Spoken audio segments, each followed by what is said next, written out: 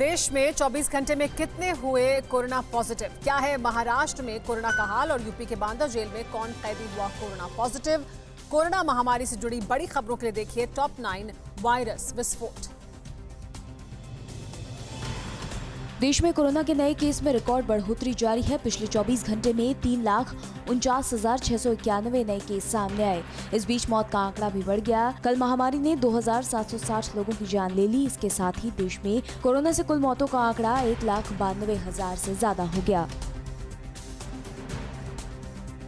इस बीच कोरोना के मोर्चे पर कुछ राहत वाली खबर भी है। देश में रिकवरी अब पहले से ज़्यादा हो रही है। पिछले 24 घंटे में दो लाख सत्रह हज़ार से ज़्यादा मरीज़ स्वस्थ हुए। हालाँकि अभी भी अस्पताल में 26 लाख बयासी हज़ार से ज़्यादा एक्टिव केस हैं।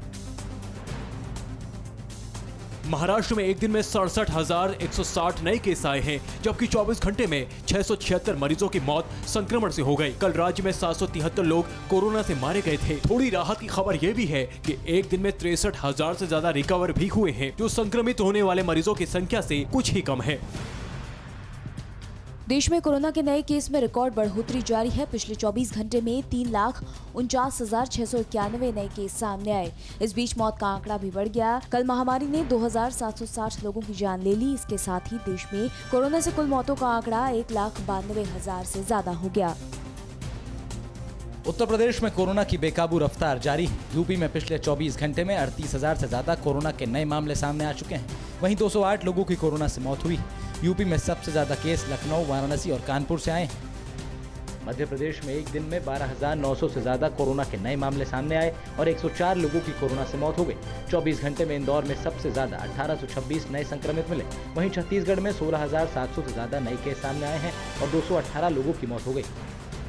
सुप्रीम कोर्ट के जज जस्टिस मोहन एम शांतनागोदर की मौत हो गई है। बासठ साल के जस्टिस शांतना शांतनागोदर ने गुरुग्राम में मेदांता में आखिरी सांस ली। लंग्स में इन्फेक्शन के बाद आईसीयू में उनका इलाज चल रहा था। जस्टिस शांतनागोदर कोरोना वायरस से संक्रमित थे या नहीं, इसकी अभी पुष्टि नहीं हो पाई है।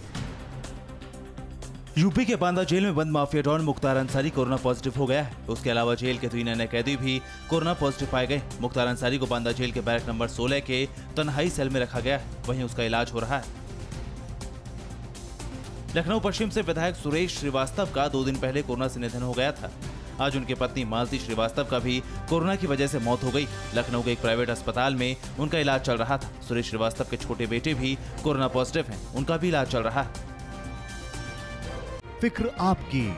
सोमवार से शुक्रवार, रात नौ बजे, सिर्फ़ टीवी नाइन भारत वर्ष पर।